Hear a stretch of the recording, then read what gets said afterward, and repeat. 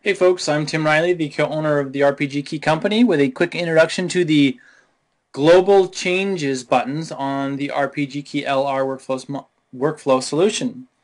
This includes buttons for resetting an image, for temperature, tint, brightness, recovery, blacks, contrast, exposure, saturation, sharpness, clarity, fill light, uh, auto tone, and paste last. Um, working these buttons all work in both the library mode and the develop mode and each button goes up and each button goes down. So for example if I was to hit the exposure down button you can see that I'm adjusting the image. If I go ahead and hit the blacks button it's going to go up. You'll see the blacks in the image getting a little darker like her boots. And now if I go ahead and hit the contrast button you'll see me incre increasing the contrast. Um, very simply each button is mapped to the functions of the quick develop uh, panel shown here. Okay. And the same functionality in the develop mode. So if you're in the develop mode and you ask it to increase the exposure by a third, you're going to see the slider move. If you're in the if you're in the library mode and you ask it to go up, up by exposure, you're actually going to see the buttons over here move. Um, the RPG, one of the keys of the RPG Key LR product is that we have basically taken control of the right hand editing module, uh, or I should say panel, in both the library mode and the develop mode.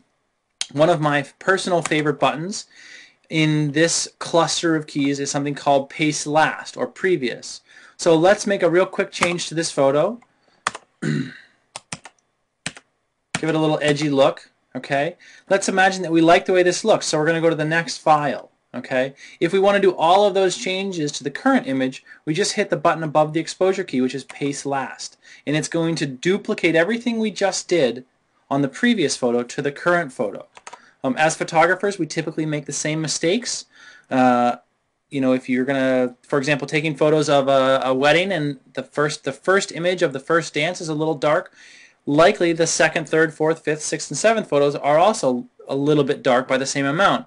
Um, without having to go into sync and, and grabbing photos in the right order, this paste last key is, is quite a time saver.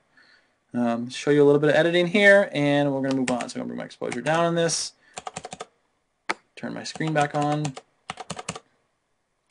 my temperature up, and probably go to the next photo, and oh, the same thing. So there you have it. These are the purple keys in the center cluster of the RPG key. Um, if you've ever used Adobe Camera Raw, you'll recognize these buttons because a lot of the image adjustment terminology between Lightroom in the quick develop setting is similar to what you might see in ACR. Um, again, my name is Tim Riley. I'm the co-owner of RPG Keys, and I thank you very much for your time. Take care, folks.